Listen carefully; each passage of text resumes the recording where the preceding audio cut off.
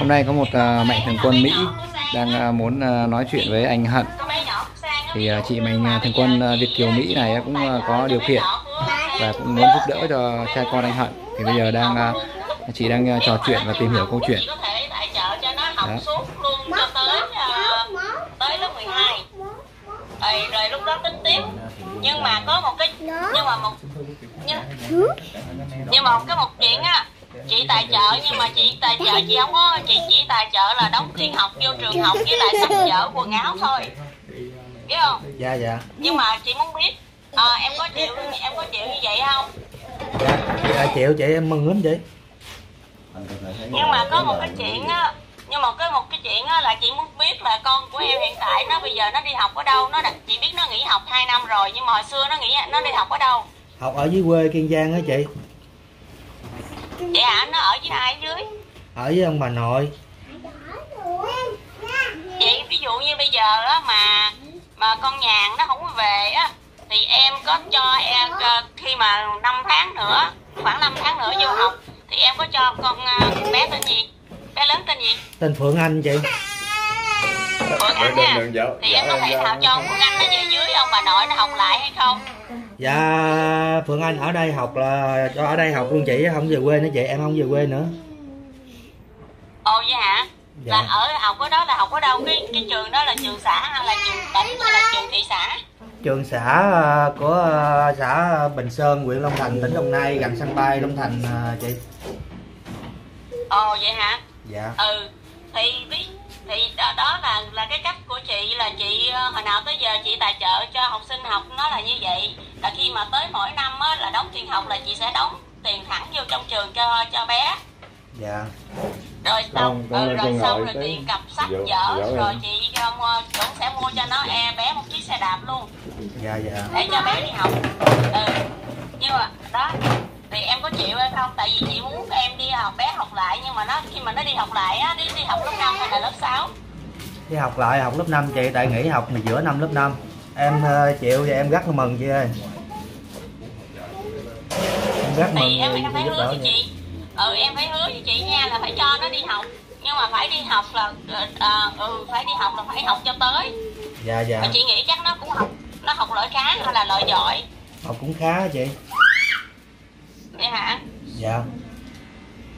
Bây giờ cái tuổi nó cái tuổi đang đó gần mười mười một mười hai tuổi á, cái tuổi cũng khó dạy lắm. 13 tuổi mà mà bây giờ nó phải chăn em như vậy nó cũng tội nghiệp cho nó nên em ráng cũng cho nó cho có nó chút xíu tuổi trẻ chút xíu ủa, tuổi ờ, tuổi thơ chút xíu. Dạ. Thấy nó ngoan đó. Ừ.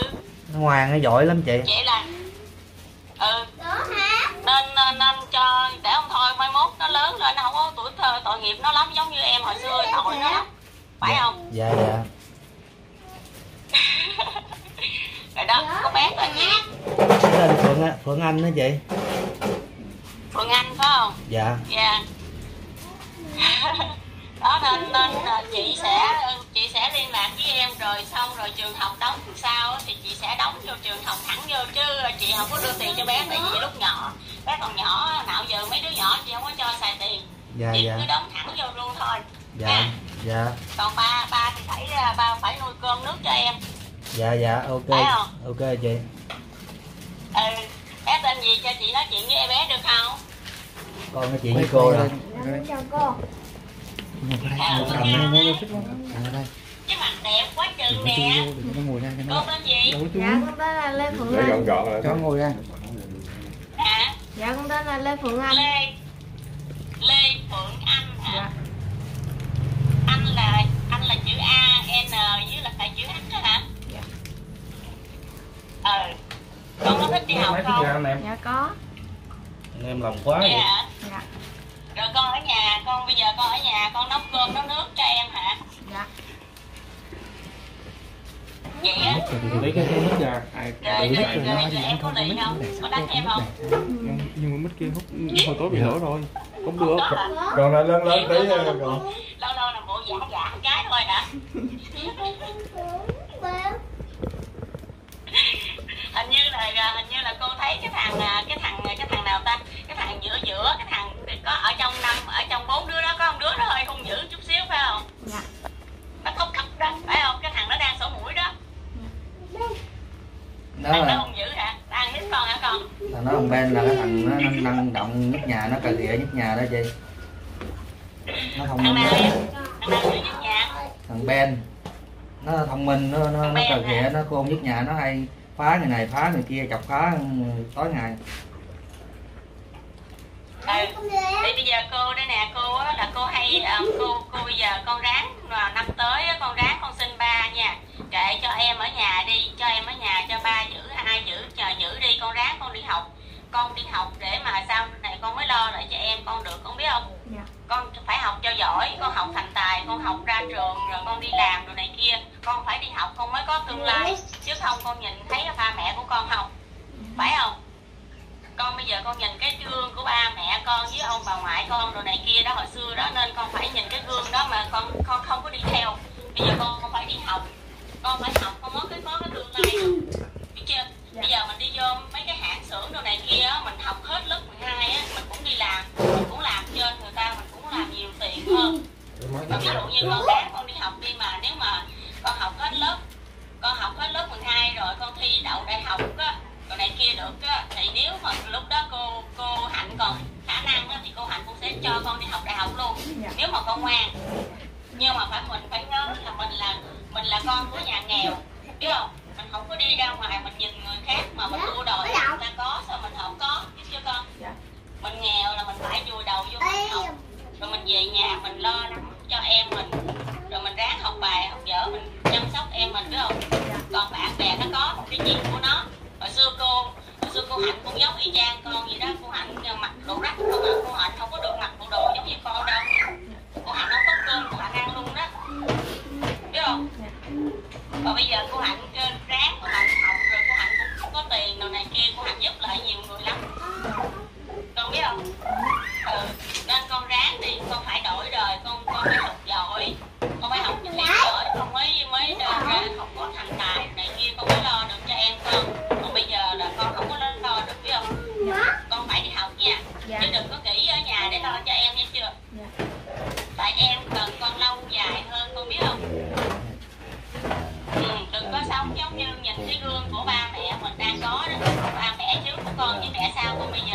giờ con không có đi theo con đường đó được nghe chưa ừ.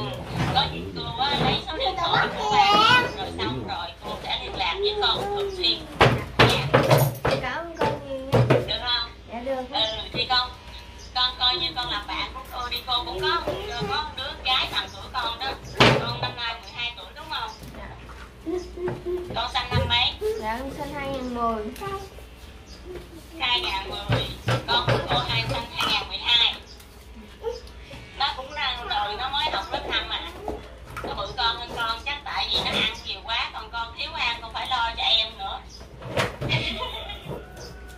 phải không bây giờ bây giờ cô lo cho con đi học nhớ là Bên Huy Hùng có bán nước cốt nhàu ở nhà tự làm.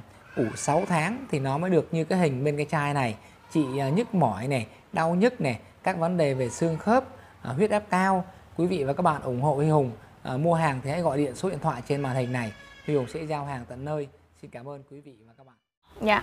mình có đồ ăn mình đi học. Mình có cơm gạo mình đi ăn mình đi học là được rồi. Biết chưa? Dạ. biết không? Dạ biết. nhớ nha. Dạ. nhớ lời cô nói nha. Dạ. Mình phải học thành tài. Mình phải học thiệt giỏi mình mới lo cho cha mẹ lo cho em mình được. Biết chưa? Dạ biết. mà con bây giờ á bây giờ mẹ của con mẹ nhà của con đi rồi á, thì cứ để cho mẹ được, được à, đi đi cái không có sao hết. Chừng nào mẹ muốn về mẹ về mẹ không về thôi.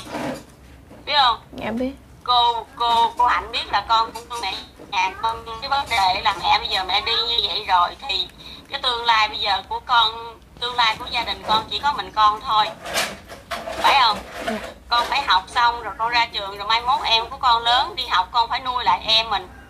Phải không? Dạ. đó giống như ba con đó giống như ba con không có đi học nè giống như mẹ nhà con không đi học nè mẹ trước con cũng không có đi học nhiều nữa. Nên bây giờ thấy ông long đông đâu có gì đâu. Phải không? Dạ. ừ. nhìn nhìn nhìn giống như cô nè giống như những mấy chú youtube đó mấy chú youtube ở ngoài sau lưng của con giàu lắm đó. Họ cũng học giỏi họ cũng làm đủ thứ rồi Dạ. được không? Dạ được. được phải không giỏi.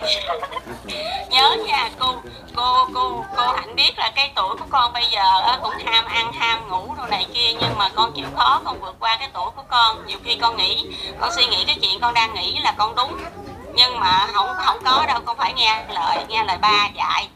Biết không? Nghe lời ba dạy nghe lời. Ví dụ như bây giờ có cô rồi nè thì còn mai mốt con con lấy cái um, uh, nick zalo của cô này kia rồi xong rồi cô rồi con có muốn gì á thì con nói chuyện với cô. Dạ. biết không? Con có cần gì ha? Con có ấy gì á? Nhưng mà nhớ là cô là chỉ cho con sách thời dở học thôi chứ không có chiều con những cái thứ khác biết không? Tại vì cô cũng còn phải nuôi những người khác với lại cô cũng phải nuôi con cô nữa. Dạ. biết không? Dạ biết. nên mình phải chia ra để mình có tiền mình học cho nhiều người được học biết không? Dạ. Còn điện thoại này kia ví dụ muốn xài cũng xài cái điện thoại của bắp thôi đừng có xài cái điện thoại xịn ha này kia kệ nó người ta có có cái điện thoại cũng giống vậy thôi mình tắt lên mình nghe thôi Dạ. phải không Dạ. được không Dạ được. có hứa với cô là ráng học nha Dạ. không có sao hết bây giờ mình á mình đi ra ở lại cứ coi như là cái hoàn cảnh của mình như vậy mà mình được trở lại học là mình mừng rồi chứ đừng có mặc cảm là mình ở lại lớp 2 năm nha con Dạ. Nghe không không có gì mà mặc cảm hết trơn. Kệ ai nói gì nói mình cứ tự nhiên mình học đi mình học cho mình mà. Phải không? Ta cười là cái miệng của họ biết không? Dạ. ừ, giỏi biết tên cô chưa? Nhớ tên cô chưa? Dạ cô tên Hạnh. cô hạnh. Nhớ không? Dạ nhớ. rồi mất sống rồi. Nghe được mà nghe được. Nói chuyện đi. Mặt người thấy ghét không anh có cái lời nào muốn nói với cô hạnh không anh Rồi mai mốt con hỏi à, hỏi chú Minh Anh á, hỏi cái Zalo của cô rồi kết bạn với cô để mà à, để là mà làm bạn với cô ha. Ba mà có ăn hiếp gì con á là con hay là ai ăn hiếp con con nhớ nói cô một tiếng nha. Cô có công an rồi đi vòng vòng vòng vòng cái khu con cũng nhiều lắm đó. dạ cũng ờ, cảm ơn chị hạnh nhiều á chị hạnh ơi À, không có sao không có chi. Con cảm ơn Đó cô rồi đâu chờ đâu rồi con muốn nói chuyện cô nữa không? cô Dạ. Hay là đợi kết bạn Zalo rồi nói tiếp ha. Dạ giờ con nói câu này con cảm ơn cô nhiều nha. chúc cô sức ừ khỏe. không có sao. Hứa với cô là học giỏi là được rồi. Cái cơ, đừng có ngại là cô đóng tiền cho con nhưng cô chỉ muốn con con là đơn lại cho cô là cái học học của con thôi. Con học trung bình cũng được không có sao. Miễn trung bình khá thì cũng được rồi. Không có cần phải sợ là cô muốn con học giỏi nhưng mà cô nói chữ giỏi là để để cho con cố gắng thôi nhưng mà chỉ chỉ cần con học đúng cái cái cái lực học của con thôi đừng có bị um, giống như bị stress nhiều quá biết không? Dạ. mình cứ học sao mình thoải mái mình học sao mình ráng mình. Sao rồi? mất sóng rồi yếu sống rồi mất sóng rồi. Mất xong rồi tại vì máy này nóng quá rồi. À cái này phát 3G cái gì? Thôi vậy thôi được rồi thì hôm, nay ờ, có một ờ, mạnh thường quân Việt kiều Mỹ là ngày hôm qua thì anh em cũng ờ, chia sẻ video lên thì hôm nay chị có xem được và chị cũng ngồi điện về như quý vị các bạn vừa nghe xong đó. Thì hứa là sẽ giúp cho bé Phượng Anh đi học. Thì cái cảm giác của con ngay lúc này như thế nào con? Con rất vui hả? Con con con nghĩ như thế nào? Con có nghĩ là mình đang nằm mơ không? Có hả? Cảm xúc uh, dâng trào chứ hôm qua mà thấy con khóc ờ, hôm qua tại sao mà con lại khóc? Nói to lên con. À, con buồn con không được đi học như người ta hả? Để con thích. Còn cái này để cho chú nữa.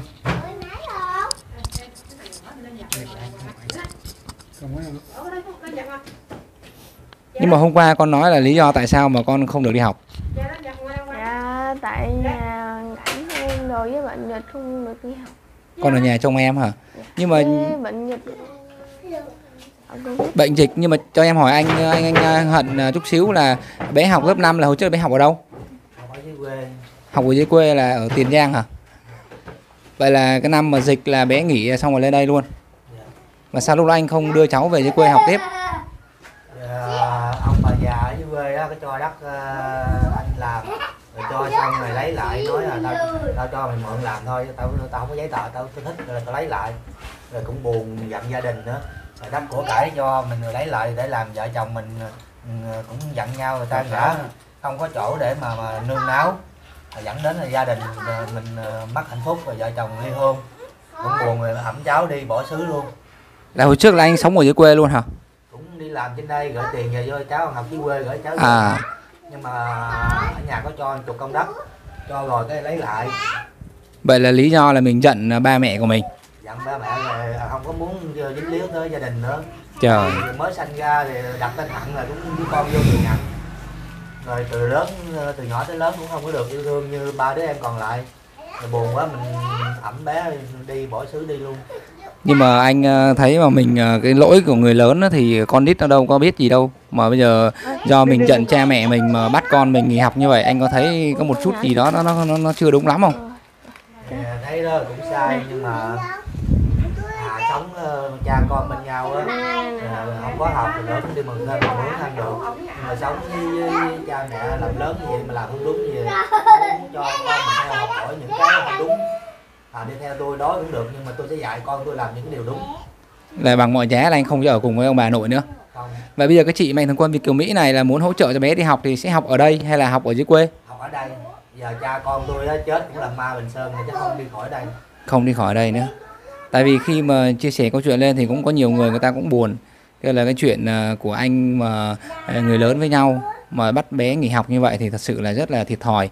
Ngay bản thân của anh anh cũng nhận thức được cái điều là mẹ của bé là mẹ thứ hai đó là chị nhàn bây giờ đang bỏ đi á là không có ăn học đúng không? Không có trình độ không có kiến thức nên mới xảy ra cái hậu quả như ngày hôm nay. Mà tiếp tục cái người con gái của mình lại không cho được ăn học nữa thì liệu nó có đi theo vết xe đổ của cái người vợ của anh không? À, tôi cũng cố gắng dạy cháu từng ngày. Mình nghèo tiền nghèo bạc nhưng mà đừng có nghèo nhân cách. Đừng có nghèo cách sống nghèo đạo đức. Sợ nhất là nghèo đạo đức nghèo nhân cách nghèo cách sống á. Chứ còn tiền bạc á, thì hôm nay kiếm không có thì mai có thể kiếm có. Còn cái nhân cách cái đạo đức ở đời á thì mất đi rồi không bao giờ kiếm lại được đâu Dạ.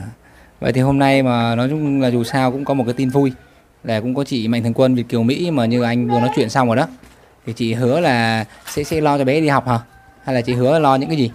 thì lo cho bé là quần áo với à, học phí với à, sách vở rồi đi học à, cũng, cũng cảm ơn chị rất nhiều tôi rất là xúc động Nhưng mà Rồi cho con đi học lại tôi rất là mừng nhưng mà bây giờ mà ví dụ mà cho bé Phượng Anh đi học rồi ai là người chăm mấy đứa con này cho anh?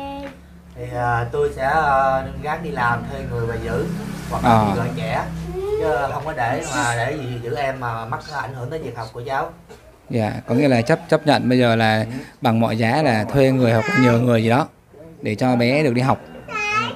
Dạ.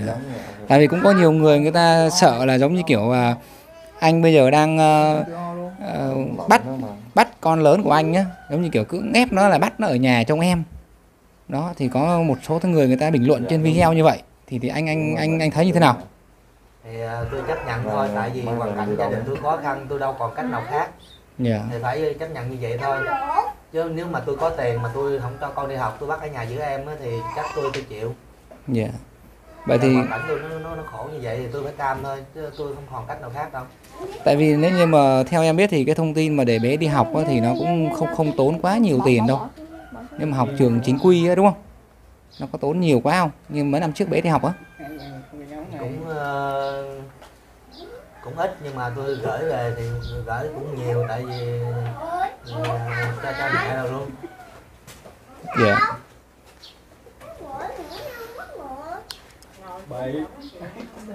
thì à, theo như cái lời của mà chị Hạnh ở bên Mỹ á, thì tài trợ cho bé lớn á, là chỉ cho bé ăn học mà mua dụng cụ sách vở cũng như đồ cũng như là phương tiện đi lại thì à, liệu anh có tính cái cách nào để mà giải quyết để là cho những đứa bé này à, Con liệu là kinh cái kia cho ba. của anh à, chưa đi làm được rồi anh có thể nào mà à, nuôi bốn đứa bé này à, tiếp tục không anh? Tại vì khi những cái lời mà chị Hạnh hứa nãy là chỉ chỉ là cho em à, lớn này thôi đi học thôi thì à, cho em lớn đi học thì tôi sẽ à, dành riêng cái, cái thời gian cho em lớn đi học không có phải bận bị gì em hút em hút hết. Còn bốn đứa trẻ nhỏ này á bốn đứa con nhỏ tôi á thì tôi sẽ à, bằng mọi giá thu xếp tranh thủ làm đêm làm ngày hay là sao cũng được. Bất cứ không ai sẽ tự tôi chăm sóc rồi tự lo không có để mà ảnh hưởng đến việc học của bé Phương Anh. Yeah. Ý là mọi người cũng lo là cái vấn đề là bây giờ anh chưa giải quyết được bốn đứa nhỏ này cũng chưa có thể đi làm được. Nên là liệu làm sao mà để giải quyết cái vấn đề đó? Thì tôi sẽ cố gắng đi làm để gửi ờ, bốn đứa bé này vào nhà trẻ. À, sẽ cố gắng hết sức để mà mà mà lo cho cho cho, cho bốn đứa trẻ này để cho bé Phương Anh được rảnh rang đi học. Có một số ý kiến của khán giả cũng góp ý rằng là anh ờ, nên cho bốn đứa nhỏ này vô trong chùa hay là một cái ờ, cái trại ờ, gọi là nuôi dưỡng trẻ em nào đó để cho gọi là cái tạm thời qua giai đoạn khó khăn này để anh đi làm cho điều kiện kinh tế ổn định sau đó anh có thể đón các cháu về. Thì anh nghĩ cái phương án đó nó có khả thi không? Dạ, tôi không gửi đâu. Cha con tôi nhớ lắm. Bây giờ ừ, tôi đâu rồi con tôi đó à. Phượng Anh đi học về cũng ở nhà chung với, với tôi. Bốn đứa con này dù cực khổ cỡ nào cũng phải ở bên tôi hết. Tôi không gửi ai hết là không bằng mọi giá không của ai hết. Như vậy thì ờ, em nghĩ rằng cũng phải là anh ờ, sẽ khó giải quyết được. Tại vì khi mà à, Phượng Anh mà đi học á thì không có người giữ mà anh ờ, không nhờ cái người khác trong con thì em nghĩ là anh sẽ không có cái điều kiện để đi làm được. Thì tôi sẽ cố gắng đi làm có tiền để thuê người về giữ các Ờ. cháu. thì, thì cũng như anh nói ban đầu cũng như có một khán giả góp ý á, là anh nên gỡ cái thời gian ban đầu. Mình chưa có sắp xếp cái công việc nó ủng hộ được thì mình sẽ gỡ đi. Xong khi mà mình làm có tiền xong á mình sẽ sẽ ờ, rút về. Đó. Không tôi thương con tôi lắm tôi không gửi được đâu. Ờ. Mà cha con tôi đâu thì con tôi ở đâu tôi nói đó. chung là bằng mọi giá là cha con là có khoan khoa có cháu cháu là ở cùng với nhau. Ừ. thì Dạ. ờ, ờ, em thấy anh cũng có vẻ xúc động hả? Anh đang suy nghĩ vấn đề gì? Cũng mừng vì á, cháu được đi học. Với ờ, mấy anh nói là để gửi bé đi tôi sẽ không gửi. Buồn không gửi. buồn hả? Dạ thì cái đó là ý kiến của khán giả thôi. Em muốn chia sẻ với anh là một cái phương án như thế thôi chứ cũng không có ý gì ha. Thấy anh cũng muốn khóc rồi. Tại tôi thương con tôi lắm tôi sẽ cố gắng không có cho nó tiền của nhưng mà tôi sẽ cho nó cái đạo đức cái tình thương. cái tình thương cái cách sống ở đời cho nó đúng đắn. Tại vì thấy anh khóc thì thật sự là một người đàn ông mà phải rơi nước mắt thì nó cũng cả là một vấn đề đó. Đó. Chứ bình thường cũng cũng chắc anh cũng đau lắm ha. Đau đúng không? Có thể thấy là cái tình cảm của anh đã lộ lên cái cái mặt của ấy thì ờ, trong lòng anh nghĩ thế nào thì anh mới có thể là là mà rơi nước mắt được. Thì Tại vì- tại vì á, hai mẹ của mấy bé này đều bỏ hết. Mẹ của bé lớn cũng bỏ con. Rồi á, mẹ bé nhỏ bốn bé nhỏ cũng bỏ con. Thì tôi cũng gửi con xa con như vậy á, thì tội cho mấy bé lắm anh có Tôi- thể giá nào tôi cũng phải cố gắng là ở bên con á để chăm sóc con để bù lại. Anh có thể chia sẻ cái câu chuyện một chút là ngày xưa là mẹ của bé Phượng Anh á, tại sao mà lại bỏ con đi theo trai vậy? Thì à, đi làm trong công ty rồi á, cũng à, lửa gần gom. Với á, vợ của tôi á rồi cũng ảnh hưởng theo cái lối sống à, chú trọng đồng tiền. Ở dưới quê vợ của tôi á, thì coi đồng tiền rồi nó, nó, nó trọng hơn cái tình nghĩa. Quê vợ anh ở đâu? Ở hậu giang á. Dạ. Vậy từ ngày mà bỏ đi tới bây giờ thì có khi nào ghé về thăm lại con gái Phượng Anh không, không? hề về thăm mà không hề điện thoại luôn. Hồi đó người vợ cũ đó anh có quan tâm chăm sóc người vợ đó không? Cũng có quan tâm chăm sóc yêu thương lắm. Nhưng mà vợ tôi cứ ờ, vợ chồng thì nghèo. Mà vợ tôi thì giấu đút tiền bạc. Giấu đút tiền bạc ăn xài hay gửi về gia đình gì đó thì tôi cũng không gành nhưng mà qua lại chuyện tiền bạc tôi nhiều lắm. Dạ. Rồi dẫn đến vợ chồng lục đục.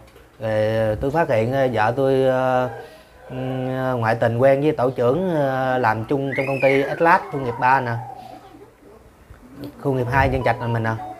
Rồi từ, từ đó rồi tới sau rồi tình cảm vợ chồng không còn rồi, rồi, ờ, sẵn ở dưới quê ờ, cha mẹ tôi lấy đất lại á cho rồi lấy lại rồi, rồi dẫn đến ờ, vợ chồng ờ, ly hôn luôn vậy anh ờ, ly hôn ờ, được lâu chưa? Thì quen ờ, cái chị vợ thứ hai thế này.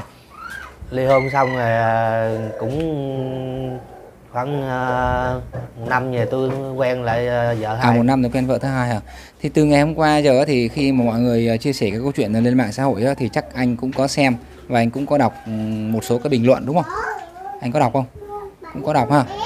Thì anh thấy khán giả đa số là người ta cũng góp ý và cho anh cái lời khuyên rất là nhiều và em cũng ờ, nhận xét được ờ, có một số cái lời khuyên người ta nói là vợ anh là bây giờ cũng không nên đi tìm người phụ nữ đó về nữa. Tại vì bỏ bốn người con đi thì quá vô tâm quá nhẫn tâm gọi là không có cái lòng ờ, tình mẫu tử giữa người mẹ và con và trong cái bốn đứa nhỏ nheo nhóc thế này. Thì anh anh nghĩ như thế nào tới thời điểm hiện tại?